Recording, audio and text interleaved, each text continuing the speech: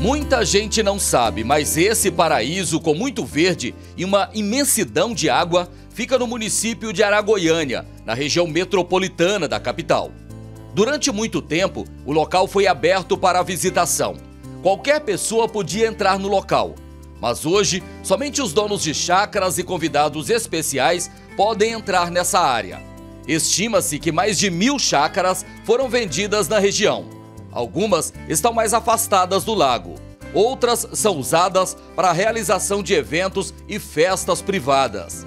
Nas margens do lago foram construídas casas de luxo, verdadeiras mansões. Essa aqui está à venda por quase um milhão de reais.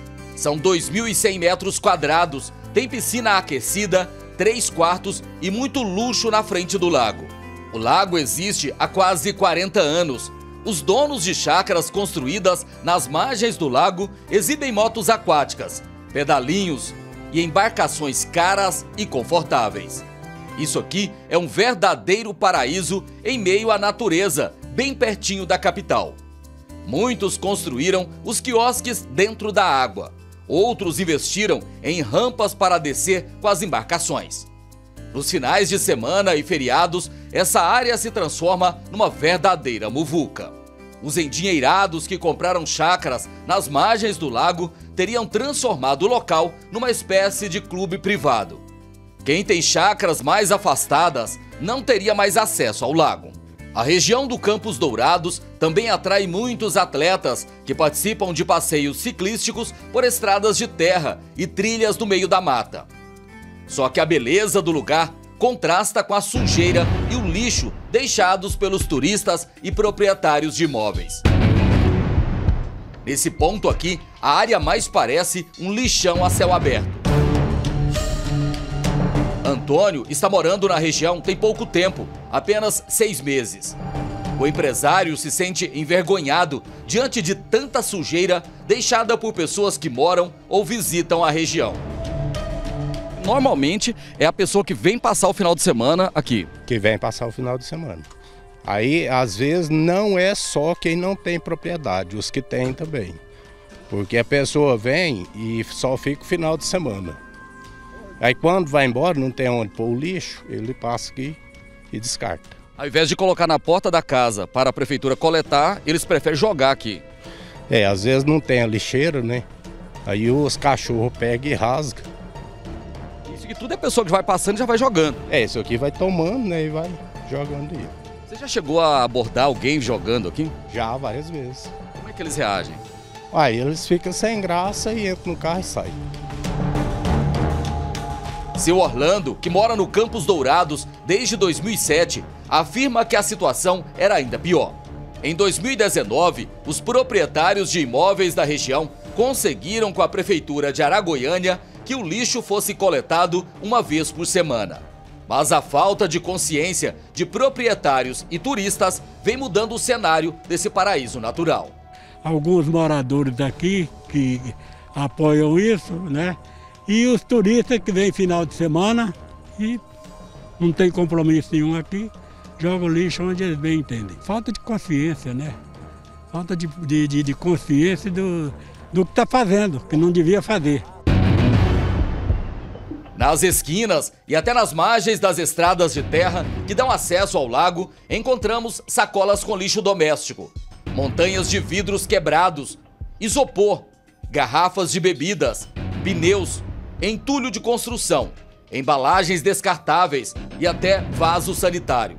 Volney, que há sete anos comprou uma chácara na região, vem tentando mobilizar os moradores para mudar esse cenário. Nesse vídeo, ele mostra a sujeira deixada pelos frequentadores. Um lugar tão bonito igual esse aqui, ó, ó lugar de da gente ir pra cá pra final de semana o pessoal pegar piqui, o pessoal banhar nos corgos. Aí essa bagunça, essa imundícia, aí que você ver que coisa feia. Onde é que você olha? Aí você vem aqui, ó, Lores, mais pra cima aqui, ó, o pessoal passa aqui, ó, Lores, ó. Pessoal também que vem acampar, joga lixo nas beiradas da, da estrada, olha que coisa feia. O descarte de lixo e entulhos ocorre com maior frequência no final da tarde de domingo, quando os frequentadores estão indo embora.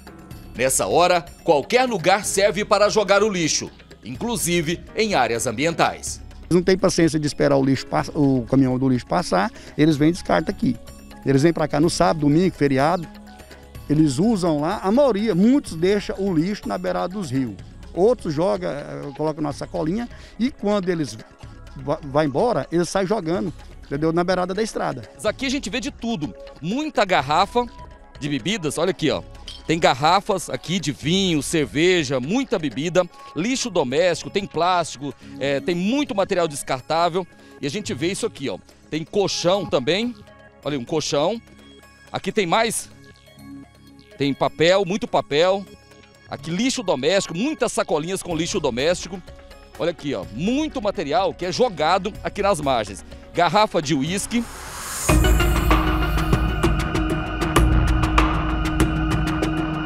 A gente pode entrar aqui na mata, a gente vai ver muito material. Olha aqui, ó. Jogado aqui. E, inclusive, pessoas que estão passando. Olha aqui, ó, a gente pode encontrar tipo esse aqui, ó. Sacolinha com lixo doméstico. A pessoa passa de dentro do carro e joga o material. Isso aqui é um problema ambiental seríssimo, além de provocar muitos transtornos para quem de fato mora aqui nessa região. É tanto lixo que até a placa orientando os moradores a não jogar lixo no local já está coberta pelo mato. No meio da vegetação, encontramos de tudo. Aqui é jogado de longe. Já passa com o carro em movimento? Já passa. E joga pela janela, né? Quando é ali, ó, aí o pessoal chega com a carroça, o veículo, né, e já descarta ali. Há dois anos, esse casal de aposentados comprou uma chácara na região para descansar. Só que o desrespeito demonstrado por proprietários de chácaras e turistas vem assustando o Dorval e a mulher dele. Você vai falar com uma pessoa, a pessoa se espinha com você. Às vezes ele vem da chácara, vem até meio, né? Aí você vai falar com ele, ele vai espinhar. Então é melhor você recuar, porque você vai arrumar um problema para você. É o mau cheiro, né? Mosquito, muita mosca, porque quando joga animais aqui, quando começa a deteriorar, o que que acontece? Os, as moscas vêm para cá e vai para casa da gente. Aí aquele mau cheiro vai juntando mosca. Você vai fazer uma comida, você tem que. Vai chegar a visita, né? Você não vai ficar tampando as panelas. É horrível. Mas você tem que tampar. Por quê? Porque aquele momento, se você chegar lá na minha casa, por exemplo, for almoçar, eu tenho que correr. Lores, eu vou tampar a panela. Por quê? É falta de educação? É. Mas eu tenho que tampar por causa das moscas. Quando chove muito, isso aqui vai descer para onde? Para nascente. Nós temos uma muito boa aqui embaixo. Aí o que, que acontece? Poluição. Muita gente bebe dessa água. Aí o que, que acontece? É é, hospital lotado. Por quê? Isso aqui, ó, eu, eu mesma acabei de tirar ali, ó, focos de dengue ali, ó. Esse vídeo feito por um morador da região mostra que até nas proximidades do lago o turista deixa muito lixo nessa área usada para camping. Até aqui, como o rio está muito cheio, não está vindo, então não tem, não tem, mas mesmo assim você ainda acha, tá vendo?